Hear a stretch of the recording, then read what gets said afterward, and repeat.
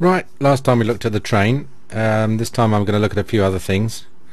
Um, I've what I've done. I've uh, I, there's no point me showing you all the different trains. Um, so I've just set the same route up in reverse.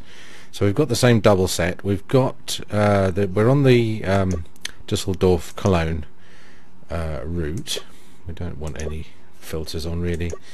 Um, and instead of starting from Cologne, I am because we've got Cologne, Cologne Messedeutz, you see, is the station in Cologne that you start from, and then you go to Dusseldorf.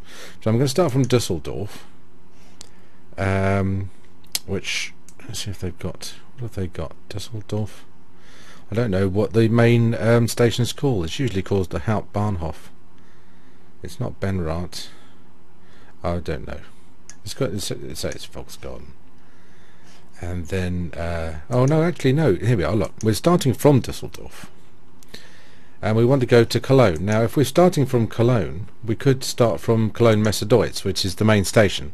But I don't I want to start from Dusseldorf and end at uh, Cologne Messedeutz but all of a sudden it's vanished. Don't ask me why. So we'll go to Cologne Mulheim and um, the environment uh, not really bothered. Let's have a change give you a change of scenery confirm. Go. So I'll keep quiet while this loads so you don't have to watch it load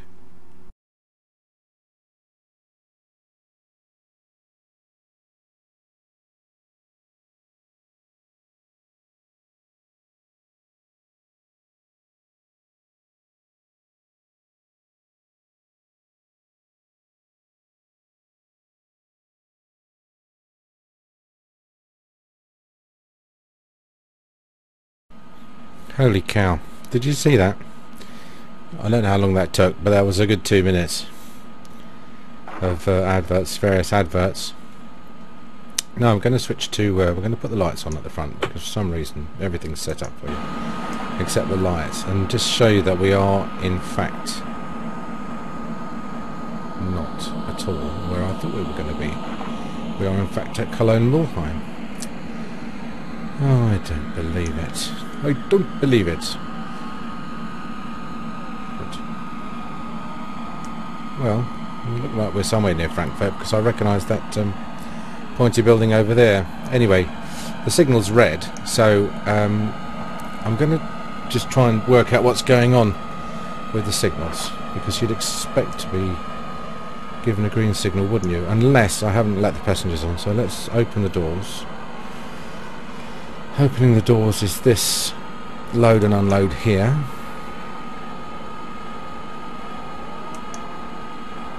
No, it doesn't want to let me load or unload. So it's not because we're not loaded or unloaded. All the passengers are frozen. Let's press uh, tab. So I have got a request to pass signal at danger denied, so it's not like I can drive through the red um, the red light. Let's go to world view and see if there's something else coming.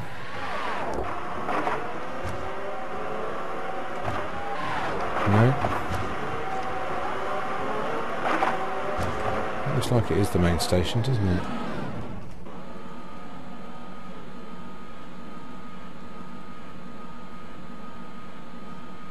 Might no, I don't think it is. Oh, I don't know. Well, that's the that's the end of the line there. I don't know what's down here. That's another end of the line, isn't it? So I assume that that must be the main station. There we are. So perhaps we have guessed it correctly. It doesn't mean that we're not stuck though, does it? We're still stuck. Right, let's go to the overhead view. Or as they call it the 2D map. I'm using the mouse wheel to um, zoom out, zoom in and out. And you can click and hold the right mouse key and move the map. And you see it put us at the bottom of the map didn't it? To start off with. And but, but we are in fact at the top of the map. We're here. And we are at the main station here and this is the signal that's holding us up here Um, and we need to get onto this line here, one of them anyway. Um, and as I say, they drive on the right, so um, it's going to be those. The green lines are platforms, so I presume it's going to be one of these two here. Now, almost certainly, the reason why we can't get onto, we can't get through the red line is because we're not cleared through it, and the reason why we're not cleared through it is because there's no path. So we need to get over to the left hand side and we'll probably have to do that by setting some of the points. Now you can see the blue line here, we see where it's blue there and blue here. That shows us where we're going to go. So if we follow the blue line through, it takes us to about here, doesn't it? Uh, it carries on. It takes us through to here. We're still blue here. We're still blue here and that's where the blue line ends. So it doesn't it doesn't go blue for the whole route. It just goes blue for certain distance ahead. So we're going to be on the Dusseldorf Eller Nordstrasse track 1 by the look of it. But it still doesn't explain why we're stuck at a red line and this is what I'm, I was trying to just tell you that the thing is, is bust. Incidentally, if you can't find your train, just click Center Player and it will center on the train. And um, in fact, that gives us a clue as to why we can't go anywhere, can't it? It's because the train's actually pointed backwards. It's pointed backwards for the route that we're intending to do, which is go south. It's actually train's pointing north. oh dear. So can we turn the train round? Let's go back and have a look. We're pointing the wrong way what we can do, we can jump through the carriages. Now, that when you do that and you're in the cab view, it doesn't jump you through all the carriages because there's no driver's point of view in any other carriages other than the front and the back. So basically, you can move to the other end of the train. But here the light is still red. Let's just put it in forward. Let's see if we can... I'll press tab it's still not letting us go through the red light. Let's go back to the 2D view. Center on the player. Right, now it is at least it is telling us that we are in the correct end of the cap. But it's still not letting us go anywhere, is it? Now, what what I'm going to do is something you just have to do with this program, and that is you just have to go through red lights. And which is a shame because all of the work they've done into all this signalling system is worth nothing if you have to go through red lights just to get the train moving. And I'm not talking about going through red lights when there's another train in the way or going through red lights because you feel like it. What, I'm, what I mean is like, trying to trying to obey the signalling system.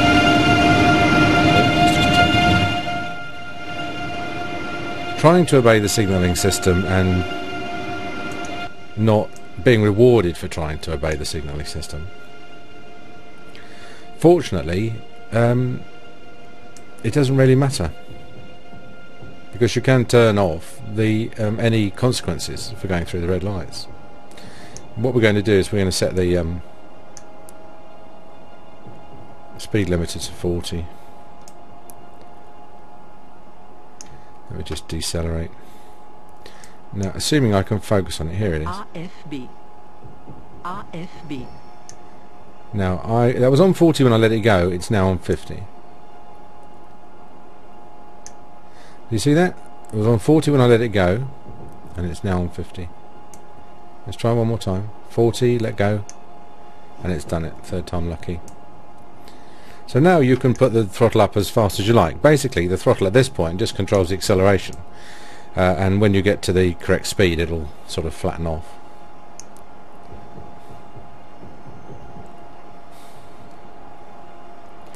So we're up to 80 now. Now I'm going to keep it slow for the time being because I'm going to go back to this overhead and show you, you can see that we're making progress on the overhead here. And as we make progress we'll get more more and more of the track will light up blue. So we're down to about here now. And you can change the points. So um, if you want to change the points then you can do that in you know in sort of a shunting scenario. But I'm I'm not at all convinced we're on the right track. We may be. We may be. But I'm yes I think we probably are because that looks like a two bypass lines here and we would be on the right hand one going south. So I think we probably are alright but you know but on the other hand let's center the player um, and then now what you can do is you can leave it like that and uh, zoom out a bit and then when you go to it it will um, um, it will um, show you uh, it'll stay centered on your train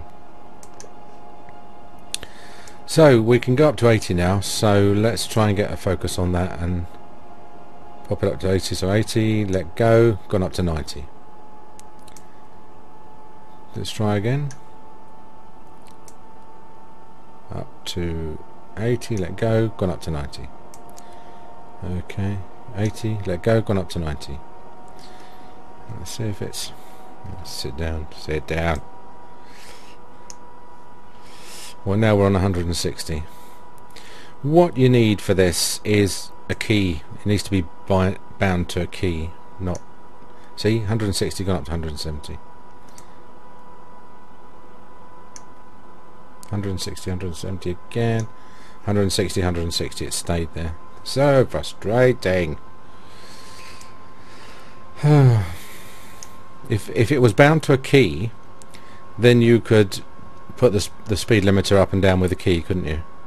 And you could just tap it. Let's just put the lights on again because the lights are all back to front. Let's just jump out and check that the lights are on. Yes, they are. Jolly good. Now the problem is that we don't know um, if we're going to go rocketing up a side siding at this point. I absolutely got no, got absolutely no idea. We're coming up to a signal. These these are the signals here. So I don't know whether it's going to be red. You can you can if you look on the map, you can see whether it's going to be red or not. It looks like it's green. So there we are. So we're okay. And there it is there. You can if you press the up arrow, and by arrows I'm talking about the cursor keys not the cursor keys on the keypad but the main cursor keys you can zoom in and get a sort of a quite an artificial um, telescopic uh, view of what's ahead and that's and that's that can be useful certainly useful for looking at um, signals that are coming up the distances here you're seeing are the distance that the signal is away in kilometers and these are um, markers that uh, count down to the various signals on the track um, and if you drive mainly continental trains, you have to learn the continental signals and vice versa. Um, but I'm pleased to say it's got it's sophisticated enough now for um, you not to need to sort of zoom in too much to see the signals. This is the the green signal. You can see the train looks to be going a lot slower than it is um, on on a zoomed in perspective. When you zoom out again, it uh, starts going back to the sort of um, speed that you expect. Right, what else can I tell you? That's uh, that is the zoom in and zoom out. But in fact, if you've got a mouse um, key, then um, a mouse a mouse wheel, then that's by far and away the best, uh, most effective way of doing it. If you do choose to drive the train uh, with an alerter system active, then uh, and in particular the um, the British trains tend to work quite well in this respect. Um, I put a um, let's just go. Um, I th there's a Q key. What happens is you get a, a warning sign comes up like a big uh, yellow and black uh, indicator and you have to press a key to acknowledge the warning what it it will warn you if you go if you go for a red light and you've got it set up to uh, stop if it goes through a red light, then it will go through. It, will it will stop. No amount of pressing the warning light will stop it, and, and it will stop and come to a stop. And then once it's stopped, you have to release the brakes, reset the put put it in forward, and then reaccelerate.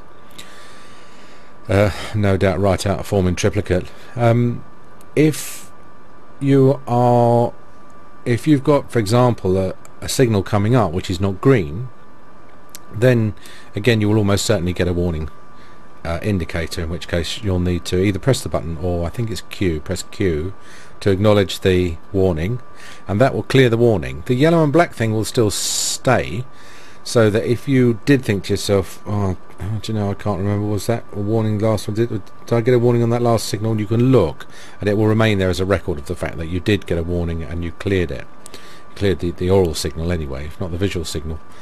Um, if you get a warning and you don't clear it in time then uh, the train will stop again so and I think if memory serves me correctly the English system is quicker than the continental system so um, we the, the uh, Brits are a bit um, less tolerant about uh, drivers um, dozing on the job um, we've got we've got a second or so. They have they have like four or five seconds. You know, they've got time to put down their um, Pernod and their uh, copy of the Figaro and um, press the button. Whereas we have to we have to be on the spot on it. Otherwise, uh, big trouble. Now, uh, again, while we're doing this um, a quick overview really just to give you an idea of whether you think you might like this or not um, this is a G meter on the bottom left it's um, not really I mean it's not really relevant to how you drive the train because um, normally th these trains are so sluggish to accelerate and decelerate that um, you're unlikely but there are um, sometimes uh, scenarios that require you to um, stay within certain G G-force limits um, and certainly on the scenarios you tend to get marked on marked down for high G uh, maneuvers. Uh, this is an information panel. It's obviously got your current time. It's got your station that you're expected at and what platform. What you're expected to do there. We're expected to stop. Uh, and it's this is a waypoint um, and it's telling us the next waypoint's in just under 17 kilometers. And um, it's not uh, I don't know it's got the estimated time of arrival I think to the destination and then that's the estimated time of arrival to the um, waypoint so um, this is the current that you're drawing from the lines, which um, is probably more relevant when you're driving sort of big, uh, the big American freight trains. Um, having said that, it's it's of interest only more than any practical use. Um, the controls you probably know anyway, but um, this is uh, wheel brakes. It's not really a good idea to use 100% I tend to use 60%, 80% if I'm want to stop quickly, 100% only if I can see something on the line I'm going to crash into. Um, this is the uh, is the lever that uh, tells the engine whether to work forwards or backwards. You don't really use that in anything other than forward uh, motion. And then um, this is the throttle or the accelerator, which, as I say, you will use on short trips, but on a long trip like this, it's we've got the whole thing on auto. And in fact, we could we could have that back a bit, and we'd still our speed wouldn't change because we've still got enough acceleration on there to maintain the 160. Um, I was going to say knots there, but we're not flying a plane, are we? 160 kilometers an hour that um, we need to maintain. On the free roam scenarios, um, there are no other trains and it's a shame because really you know how realistic is it not to see another train how great would it be if there were, there were other trains Um, now I appreciate that if your signalling system's broke, um, you don't want to put other trains on, do you? It should just be crashing all the time. So I can understand why they're doing it, but selling such a large amount of downloadable content for a game that is intrinsically not working properly, I think is a bit of a, a problem. The other thing is that there's absolutely no multiplayer, which is is a shame. And you might say, well, it's a train. How could you have multiplayer? Um, you know, and if if that was true, then of course um, uh, trains wouldn't need. Uh, you know, we'd have one person running all the trains in England, wouldn't we? I mean, of course, it's a it's a multiplayer activity. You need to have someone. Uh, I mean, you could at the very least give someone access to the 2D view and let them change the points and keep an eye on you, so they could act as an, um, uh, effectively a signal box. Uh, and I, when I play online and play online with my uncle, and he, he'd be very happy with that job. He's not, you know, on the basis that when he was driving the train, I would make sure he didn't end up going up the siding at 165 miles an hour. Uh, and it has happened. There's the Bayer Works again, by the way.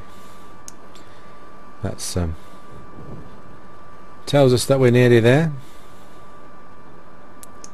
I'll be interested to see what happens when we get back because um,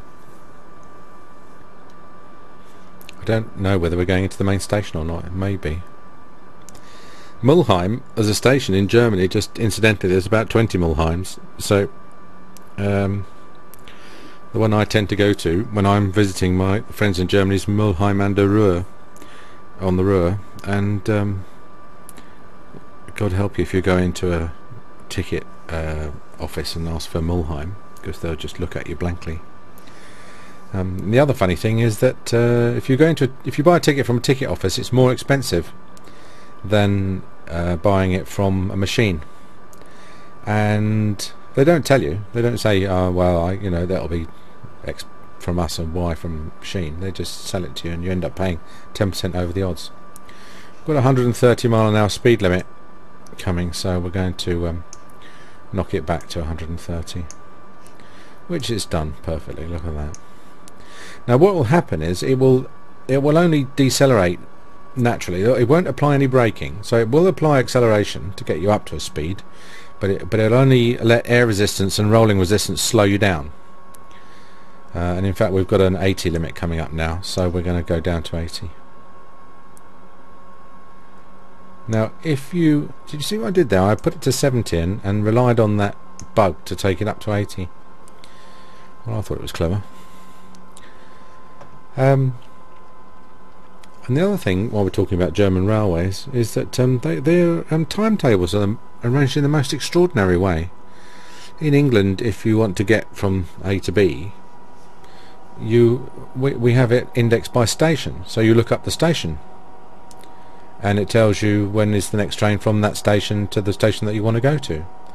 But over there, they don't index by destination; they index by time because they assume that you know what train you want and that really what you want to know is when is the next train that's leaving and from what platform.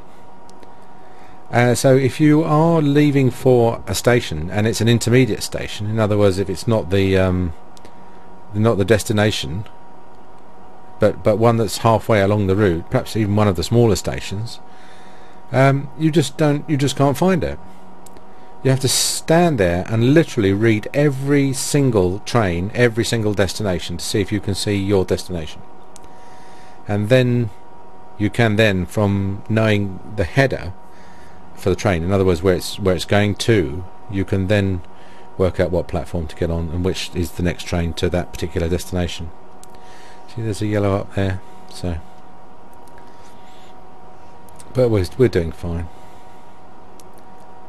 Going to Col Cologne Mulheim 3. So here we are. So we're not going into Cologne. We are going to... Uh, are we going into Cologne? Yeah, we are. Cologne Mulheim. I don't know why they call it Mulheim. It's Hauptbahnstrasse. Hauptbahnstrasse. Ha.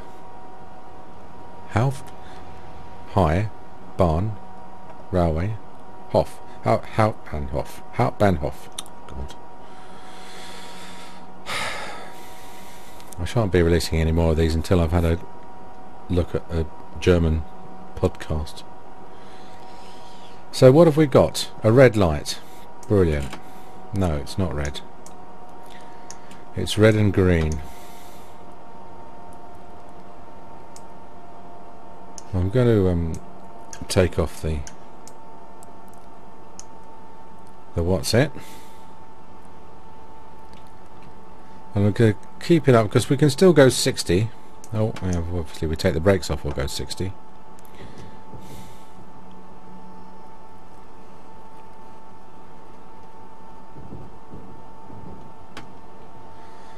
Now, the fact that it's indicating Cologne Mulheim 3 is good because that does mean that um, we, we've probably effectively got a path cleared through to that. So if we go back to the 2D map and just zoom out and then unclick the center player or drag drag with the right hand side and you can see where we're cleared through to. So we're cleared through to here. So that looks like a marshalling yard. Oh, let's get back quick because I think we're there.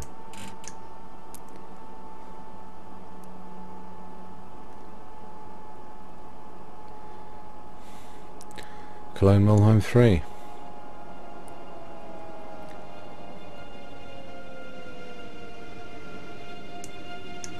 If you take the brakes off, there is um, a delay